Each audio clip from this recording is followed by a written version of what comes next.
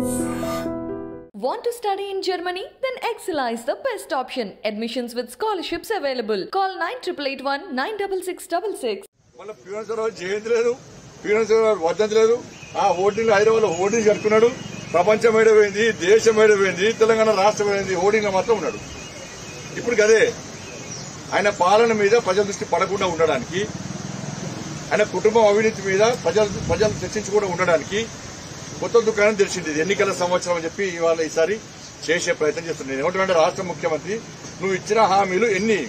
ఏమేమి ఇచ్చిన హామీలు? ఎన్ని నెరవేర్చినావు? డబుల్ బెడ్రూమ్లు ఎంతమందికి ఇచ్చినావు? ఎంతమంది దరఖాస్తు చేశారు నువ్వు కట్టిన ఎంత కట్టించిన ఎంతమంది ఉంటున్నారు? ఇంకెన్ని కట్టిస్తావు? ఫస్ట్ నాడు జీతాలు ఎందుకు వేయకపోతున్నావు ప్రమోషన్ ఎందుకు ఇవ్వలేకపోతున్నావు? ఆర్టీసీ పైసలు వాడుకున్నావు? ఆర్టీసీ నిర్వహణ ఎందుకు చేసినావు? సింగరేణి పైసలు వాడుకున్నావు? దాన్ని బీజేపీ పేరుతో ప్రైవేటీకరణ చేసే ప్రయత్నం చేస్తున్నావు. యాభై ఒక్క శాతం వాటా నీదుంది నలభై తొమ్మిది శాతం వాటా కేంద్ర ప్రభుత్వం ఉంది. యాభై ఒక్క శాతం వాటా ఉన్నోళ్ళు ప్రైవేటీకరణ చేస్తాడా? నలభై తొమ్మిది శాతం వాటా ఉన్న ప్రైవేటీకరణ చేస్తాడా? ఇలా ట్రాన్స్కో పరిస్థితి డిస్కౌంట్ ఎందుకు నష్టమవుతున్నాయి ఉద్యోగులు ఎందుకు ఆందోళన చేస్తున్నారు ఇవాళ? విఏలు ఆందోళన చేస్తున్నారు. విఆర్ఓలు ఆందోళన చేస్తున్నారు. జూనియర్ పంచాయతీ కార్యదర్శి ఆందోళన చేసిర్రు. ఏ వర్గం తృప్తి ఉంది చెప్పగలరు? నిరుద్యోగ యువత ఆందోళన చేస్తున్నది. చదువుకొని పరీక్షలు రాసిన విద్యార్థుల యొక్క భవిష్యత్తును నాశనం చేస్తుండ్రు. రిజల్ట్స్ వచ్చేదానిక మేము పాస్ అవుతామా కష్టపడి చదువుకున్న నాశనం. మరి రిజల్ట్స్ పాస్ అవుతామా ఫెయిల్ అవుతామా అని విద్యార్థులు కూడా ఆందోళన చేస్తున్నారు ఆందోళన పడుతున్నారు. ఏ వర్గం తృప్తి గురించి చెప్పాలి. అప్పుడు ఉత్సవాలు చేసుకోండి మీరు ఏం చేసినారు ఒక పార్టీ అధికారుల పార్టీ ఏం అభివృద్ధి చేస్తాము? ఏ విధంగా అభివృద్ధి చేస్తామో? దాని పా- ఆ దిశగా ఎన్నికల పోటీ చేయాలి. దాన్ని పక్కబెట్టి బీజేపీని తిట్టడము మోడీ గారిని తిట్టడము. ఇవన్నీ కరెక్ట్ కాదు. ప్రపంచంలో ప్రపంచం అంతా ఈయన ఆస్ట్రేలియా పోతే ఏమైంది వాళ్ళు ఆస్ట్రేలియా పోతారు ఈయన? ది బాస్ మోడీ అని చెప్పాడు ఆస్ట్రేలియా ప్రధాని. ఇంకో ప్రధాన కాలు మొక్కాడు. ఇక్కడ విపక్షాలు కావాలనే మోడీ గారికి ఉన్న ఇమేజ్ తగ్గించే ప్రయత్నం చేస్తున్నారు. కవిత అంటే లిక్కర్ కేసులో కవిత అరెస్ట్ ఉంటుందని ఊహించవచ్చా సార్? అనుకోవచ్చా? నేను ఈడీ అధికారిని కాదు సిబిఐ అధికారిని కాదు. వాళ్ళు ఉన్న ఆధారాన్ని బట్టి విచారణ జరుపుతున్నారు. తప్పు చేస్తే శిక్ష తప్పదు. కేసీఆర్ అయినా కేసీఆర్ బాబాయ్ ఎవరైనా కూడా ఏ పార్టీ అయినా అది ఎవరైనా కూడా తప్పు చేస్తే శిక్ష తప్పదు. ఇది మోడీ గారి ప్రభుత్వం. ఇది మోడీ గారి ప్రభుత్వం. అవినీతికి ఆస్కారం ప్రభుత్వం. అవినీతి పరులను ఎక్కడికైనా అణిచివేసే ప్రభుత్వం. మీ పార్టీకి సంబంధించిన నేత ఢిల్లీలో మీ బీజేపీ మూడో స్థానానికి పరిమితం అవుతుందని చిట్చాట్ చేసినట్టుగా ఒక వార్త వచ్చింది కదా. అది ఏం తెలియదు. ఇప్పుడు నేను మొన్న చెప్పినా మళ్ళీ చెప్తున్నా కర్ణాటక ఎన్నికలకు తెలంగాణ రాష్ట్రానికి సంబంధం లేదు మరి ఆంధ్రప్రదేశ్లో కాంగ్రెస్ పార్టీ గెలుస్తుందా? రేపు పద్దెనిమిది రాష్ట్రాల్లో అధికారంలో పద్దెనిమిది రాష్ట్రాల్లో అధికారులు ఉన్నప్పుడు ఎలక్షన్ జరిగినప్పుడు ఎందుకు ఓర్చుకోలే? పద్దెనిమిది రాష్ట్రాలు బీజేపీ అధికారంలోకి వచ్చినప్పుడు తెలంగాణ రాష్ట్రంలో ఎందుకు అధికారం వస్తాయని చెప్పి ప్రశ్నించలే? ఏమన్నా అనుకోలే కదా? మేము ఇక్కడ బీఆర్ఎస్ పార్టీ ఈ కుటుంబ పాలన అవినీతి పాలన వ్యతిరేకంగా మేము కొట్లాడుతున్న తీరును గమనించండి కాంగ్రెస్ పార్టీ తెలంగాణ రాష్ట్రంలో అధికారికి ఏ విధంగా వస్తుంది? మీరు రెండు వేల పద్దెనిమిదిలో రెండు వేల పద్దెనిమిదిలో బీజేపీ ఒకటే సీటు. కాంగ్రెస్ పార్టీ పంతొమ్మిది స్థానాలు గెలిచింది. నెక్స్ట్ ఇయర్ ఏమైంది? పంతొమ్మిది మందిలో పన్నెండు మంది హోల్సేల్గా బీఆర్ఎస్ పార్టీ అయ్యారు. ఇక నలుగురే ఉన్నారు. నలుగురు వాళ్ళ దారి వాళ్ళు వెతుకొని రెడీ ఉన్నారు. ఒక్కైన మాత్రం చౌరస్తాగా ఉంటాడు ఆయన అటు పోతారా ఇటు పోతారా తెలియదు. ఇటే వస్తారో తెలియదు అనుకుంటారు. తెలియదు ఇంకా. పంతొమ్మిది కలిస్తే బీఆర్ కాంగ్రెస్ పార్టీ అందరు బీఆర్ఎస్ పార్టీ టూ థౌజండ్ నైన్టీన్లో టూ థౌజండ్ ఎయిటీన్లో ఒకటే సీట్ మాది ఎమ్మెల్యే. టూ థౌజండ్ నైన్టీన్లో నాలుగు పార్లమెంట్ స్థానాలు గెలిచాం. కాంగ్రెస్ పార్టీ మూడే గెలిచింది. కాంగ్రెస్ పార్టీ. దాని తర్వాత జరిగిన దుబాక్ ఎన్నికల్లో మేము గెలిచినాం కాంగ్రెస్ డిపాజిట్ గలంతైంది టీఆర్ఎస్ పార్టీ ఓడిపోయింది. కాంగ్రెస్ పార్టీ డిపాజిట్ గలంతైంది తర్వాత హైదరాబాద్ జరిగిన జిహెచ్ఎంసీ ఎన్నికల్లో కాంగ్రెస్ పార్టీ రెండే సీట్లు. మేము నలభై ఎనిమిది స్థానాలు గెలిచాం. బీఆర్ఎస్ పార్టీకి మాకు తేడా ఓటింగ్ ప- ఓట్ల శాతం ఎంత తేడా అంటే శాతం కాదు. ఓట్లు ఎన్ని తేడా అంటే ఆరు వేల ఓట్లు మాత్రం ఫరక్ అధికార పార్టీ మాకంటే ఆరు వేల ఓట్లు మాత్రం ఎక్కువ వచ్చింది నలభై ఎనిమిది స్థానాలు మేము కాంగ్రెస్ పార్టీ రెండే. దాని తర్వాత హుజాబాద్ జరిగిన ఎన్నికల్లో మేము గెలిచినాం. కాంగ్రెస్ పార్టీ డిపాజిట్ గలంతైంది బీఆర్ఎస్ పార్టీ ఓడిపోయింది. మొన్న జరిగినటువంటి శాసనమండలి ఎన్నికలు ఉపాధ్యాయులందరూ భారతీయ జనతా పార్టీ గెలిపించారు. కాంగ్రెస్ పార్టీకి బీఆర్ఎస్ పార్టీకి అభ్యర్థి కరువైంది. మేము గెలిచాం ఎన్నికల్లో. వరంగల్ కార్పొరేషన్లో కాంగ్రెస్ పార్టీ ఎంతమంది కార్పొరేటర్లు? కరీంనగర్ కార్పొరేషన్లో కార్పొరేటర్లు ఎంతమంది? నిజామాబాద్లో కార్పొరేటర్లు ఎంతమంది? కాంగ్రెస్ పార్టీకి ఓటింగ్ పర్సెంటేజ్ ఎంత?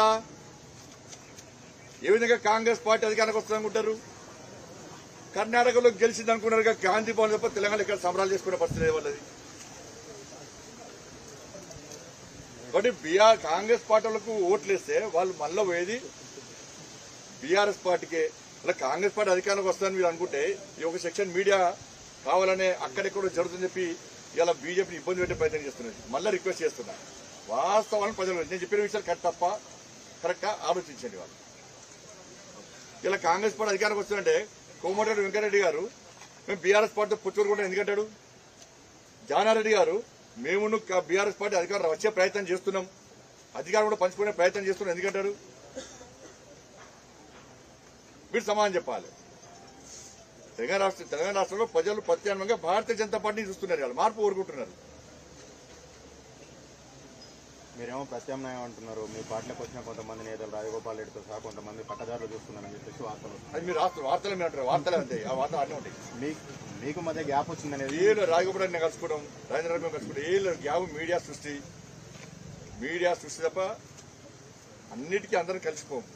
ఎవరి బాధ్యత వారి ఎవరి బాధ్యత నెరవేరుస్తారు? కేవలం చెప్తున్నా ఒక సెక్షన్ మీడియా కావాలనే బీజేపీ మీద తప్పుడు ప్రచారం చేసే ప్రయత్నం చేస్తుంది కాంగ్రెస్ పార్టీని బీఆర్ఎస్ పార్టీతో కలిసి లేపే ప్రయత్నం చేస్తున్నది మరి వాస్తవ పరిస్థితులు గుర్తించాలి మనం. కర్ణాటకలో కర్ణాటక కర్ణాటకలో ఏం జరిగింది థర్టీ సిక్స్ పర్సెంట్ ఓటింగ్ శాతం మాది సేమ్ ఉన్నది. మరి ఇక్కడ తగ్గలే. తెలంగాణలో బీజేపీ గ్రాఫ్ పెరిగిందని చెప్తున్నారు కదా. భారీగా చేరికలు ఉంటాయని చెప్పి ఊహించవచ్చా? లేకపోతే ఇది బీఆర్ఎస్ నుంచి? ఎవరో వస్తారు ఎవరో చేరాలి దాని ద్వారానే బీజేపీ బలపడుతుందని చెప్పి అనుకుంటాను ఎవరు వచ్చినా మోడీ గారి నాయకత్వం నమ్మి భారతీయ జనతా పార్టీ సిద్ధాంతం నమ్మి మేము చెప్తున్న పోరాటం చూసి బీఆర్ఎస్ పార్టీకి వ్యతిరేకంగా మేము చెప్తున్న పోరాటం చూసి వస్తే తప్పకుండా స్వాగతిస్తాము మీడియా కావాలనే అమిత్ షా గారు తెలంగాణకు వస్తుందంటే లేకపోతే మోడీ గారు వస్తుందంటే వీళ్ళు చేస్తారు వాళ్ళు చేస్తారు చేరికలు ఉంటాయి. అని చెప్పి చెప్పే ప్రయత్నం చేస్తారు. అమిత్ షా గారు చేసుకోరు. జేపీ నడ్డా గారు చేసుకుంటారు. మరి ఆ జాతీయ జ- ప్రధాన కార్యదర్శి చేసుకుంటారు. అమిత్ షా గారు మోడీ గారు వస్తే ప్రతిసారి ఎవరు వచ్చినప్పుడు కావాలనే బీజేపీలో వీరు చేస్తున్నారు వాళ్ళు చేస్తుంటారు వెళ్ళిపోని ఎవరు చేయలేని రాస్తారు మీరే. అది ఏదో కావాలని మనం అనుకోకూడదు కావాలనే బీజేపీని అనవదొక్క ప్రయత్నం తెలంగాణ రాష్ట్రంలో. మరి కాంగ్రెస్ పార్టీ ఈ తెలంగాణ రాష్ట్రంలో అధికారం రావాలని ఎందుకు కోరుకుంటారో నాకు అర్థం కాదు ఇప్పటికి కూడా మరి మరి బీజేపీ మీకు చేసిన అన్యాయం ఏందో నాకు అర్థం కాలేదు మేము మీడియాను నమ్ముకొని మేము పోతున్నాం మేము మీడియాను గౌరవించే పార్టీ భారతీయ జనతా పార్టీ జర్నలిస్టులను గౌరవించే పార్టీ భారతీయ జనతా పార్టీ హిందీ స్థాయి జర్నలిస్ట్ అందరూ కూడా కరెక్ట్ అనేది తప్పు ఇది కావాలని బీజేపీ వ్యతిరేకంగా రాస్తున్నారు కానీ యాజమాన్యం ఒక సెక్షన్ యాజమాన్యం దయచేసి రిక్వెస్ట్ విమర్శ చేస్తలేను డిమాండ్ చేస్తలేను నేను మళ్ళా రిక్వెస్ట్ చేస్తున్నా దయచేసి మాకు వ్యతిరేకంగా రాకండి ప్లీజ్ మేము కొట్లాడుతున్నాం మేము గ్రౌండ్ లెవెల్లో కొట్లాడుతున్నాం ప్రజల కోసం కొట్లాడుతున్నాం. మరి మాకు సపోర్ట్ చేయండి. మమ్మల్ని ఆదరించండి మాకు అండగా ఉండండి ప్లీజ్ మీరు గంగుల కమలాకర్ ఇద్దరు మ్యాచ్ ఫిక్సింగ్ చేస్తున్నారని గోన ప్రకాష్ రావు అంటున్నారు. అంటే పెద్ద మనిషి అంటే గౌరవము. దేనిలా గ్రానైట్ విషయంలో ఆ విషయంలో ఈ విషయంలో ఉంటుంది. నేను ఒకటి క్లారిటీ ఇస్తానండి. గ్రానైట్ అసోసియేషన్ ఎవరిది? గ్రానైట్ అసోసియేషన్ ఎంతమంది ఉన్నారు? ఐదు వందల మంది ఉంటారు. ఇలా కాంగ్రెస్ ఉంటారు బీఆర్ఎస్ ఉంటారు మామూలు ఉంటారు వాళ్ళు వ్యాపారాలు కూడా చేసుకోవచ్చు. బండి సంజయ్కి ఇన్ని కోట్లు ముట్టినాయి అన్ని కోట్లు ముట్టినాయి అంటే లెక్క ఇంతమంది ఐదు వందల మంది అరవై సభ్యులు ఉంటారు కదా బయటకు రావాలి కదా మరి? ఒకరి జేబులోకి వెళ్ళి లేరు కదా. ఐదు వందల కోట్లు వెయ్యి కోట్లు రెండు వేల కోట్లు లేరు కదా. మరి లెక్కంది ఎందుకు ఇస్తలేరు మరి? బీఆర్ఎస్ పార్టీ వాళ్ళు అదే అంటారు. కాంగ్రెస్ పార్టీ వాళ్ళు అధికారంలో మీరే ఉన్నారు కదా. తీసి ఇన్ని పైసలు వచ్చినాయి ఇన్ని పైసలు ముట్టాయని చేయాలి కదా. ఈ ఫాల్తు ముచ్చేటందుకు ఈ ఫాల్తు రాజకీయాలు ఎందుకు నేను అమ్మవారి మీద ప్రమాణం చేసిన. మళ్ళీ కూడా ప్రమాణం చేస్తున్నా. గ్రానైట్ విషయంలో నా మీద ఆరోపణ తప్పు. ఎక్కడ పైసలు నేను నా బినామీ అకౌంట్స్ కానీ నా అకౌంట్స్ కానీ ఎవరైనా ఎక్కడైనా ఎంక్వైరీ చేసుకోవచ్చు ఆరోపణలు చేసే ముందు ఆధారాలు చూస్తే నేను పక్క జరుగుతాను నాకు తెలిసిన పుస్తకం నాది నేను ప్రమాణం చేస్తున్నా. ఎవరైనా ఆరోపణలు చేస్తుంటే ప్రమాణం చేయమని చెప్పండి ఆధారాలు చూపడమని చెప్పండి. చూపేటప్పుడు ఆధారాలు చూపెట్టాలి. ఐదు వందల మంది అన్ని పాటలకు సంబంధించిన వ్యాపారస్తులు ఉంటారు అందరు ఉంటారు. వాళ్ళని కాదని చెప్పి నేను పైసలు తీసుకుంటానా? ఏదైనా కూడా. రాష్ట్ర ముఖ్యమంత్రి నా మీద పద్దెనిమిది ఇంటర్నేషనల్ పెట్టాడు. ఏడా ఏమైనా మొత్తం నా అకౌంట్స్ మొత్తం చెక్ చేస్తున్నాడు.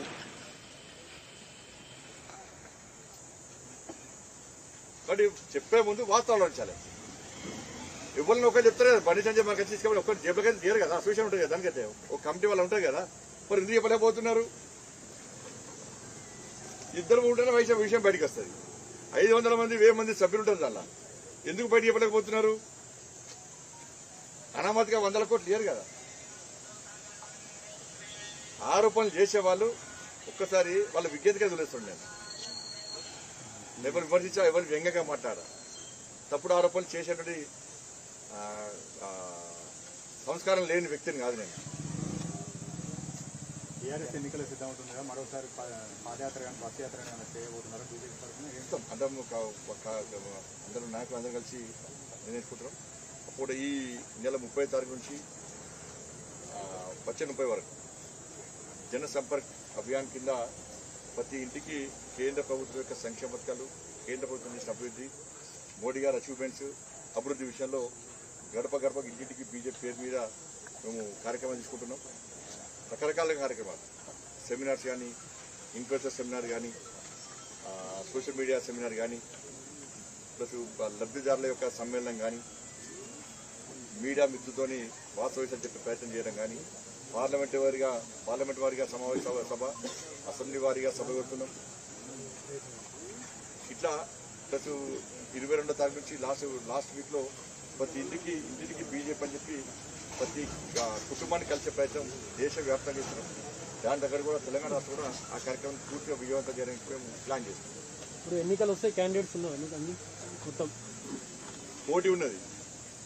నేను యాభై ఏడు అసెంబ్లీ నియోజకవర్గాల్లో నేను పాదయాత్ర చేసిన. మీడియాను చూసింది. ఒక్కొక్క నియోజకవర్గంలో పోటా పోటీ ఫ్లెక్స్లు హోర్డింగ్స్ గ్యాదరింగ్ అంటే పోయినసారి నూట పంతొమ్మిది నియోజకవర్గాలు పోటీ చేసిన పార్టీ భారతీయ జనతా పార్టీ. ఒంటరిగా చేస్తాం. మాకు ఒంటరిగా రేపు సాయంత్రం ఖమ్మంలో ఖమ్మం నడిబొట్టు మీద భారతీయ జనతా పార్టీ ఆధ్వర్యంలో నిరుద్యోగ మార్చి నిర్వహిస్తున్నాం. టీఎస్పీఎస్సీ విషయంలో దాదాపు ముప్పై లక్షల మంది యువత భవిష్యత్తును నాశనం చేసే ప్రభుత్వం బీఆర్ఎస్ పార్టీ ప్రభుత్వం. టీఎస్పీఎస్ పేపర్ లీకేజ్ విషయంలో ఫస్ట్ ముఖ్యమంత్రి కొడుకు ట్విట్టర్ టిల్లు ఏ ఇద్దరిదే తప్పు అన్నాడు. నిన్న కూడా ముగ్గురు అరెస్ట్ చేశారు. యాభై ఎనిమిది మంది అరెస్ట్ చేశారు. ఇద్దరే ఇద్దరే పరీక్షలు నిర్వహించాలని దౌర్భాగ్యస్తులు బీఆర్ఎస్ పార్టీ ప్రభుత్వం ఉన్నది. విద్యా సంస్థలు నిర్వహించే దౌర్భాగ్యస్తులో బీఆర్ఎస్ పార్టీ ప్రభుత్వం ఉన్నది. వాల్యుయేషన్ చేసేటువంటి చేయలేని దౌర్భాగ్య పరిస్థితిలో బీఆర్ఎస్ పార్టీ ప్రభుత్వం ఉన్నది. నోటిఫికేషన్లు సరైన నోటిఫికేషన్ చేయలేని పరిస్థితిలో బీఆర్ఎస్ పార్టీ ప్రభుత్వం ఉన్నది. కాబట్టి దీన్ని దృష్టిలో ఉంచుకొని కేసీఆర్ కొడుకును బర్తరఫ్ చేయాలి. నైతిక బాధ్యత వహించి దాంతోపాటు ఈ టీఎస్పీఎస్ విషయంలో సిట్టింగ్ సిట్టింగ్ చేస్తూ విచారణ జరపాలి. నష్టపోయినటువంటి యువతకు లక్ష రూపాయల వృత్తి ఇవ్వాలని చెప్పి అన్ని ఉమ్మడి జిల్లాలో భారతీయ జనతా పార్టీ నిరుద్యోగ మార్చి నిర్వహిస్తున్నది. వరంగల్లో నిర్వహించిన పెద్ద ఎత్తున స్పందన వచ్చింది. పాలమూరు గడ్డ మీద విశేష స్పందన వచ్చింది. మన సంగారెడ్డిలో కూడా విశేష స్పందన వచ్చింది. రేపు ఖమ్మం జిల్లాలో ఈ మార్చ్ నిర్వహిస్తున్నాం కరీంనగర్లో మన హిందూ ఏక్యాత్ర యువత అది నిర్వహిస్తున్నాం కాబట్టి నెక్స్ట్ ఆదిలాబాద్లో నిజామాబాద్ కూడా ఈ నిరుద్యోగం నిర్వహిస్తున్నాం. రేపు ఖమ్మంలో జరిగే నిరుద్యోగ మార్చుకు నిరుద్యోగ యువత తరలి రావాల్సిందిగా విజ్ఞప్తి చేస్తాను ధన్యవాదాలు.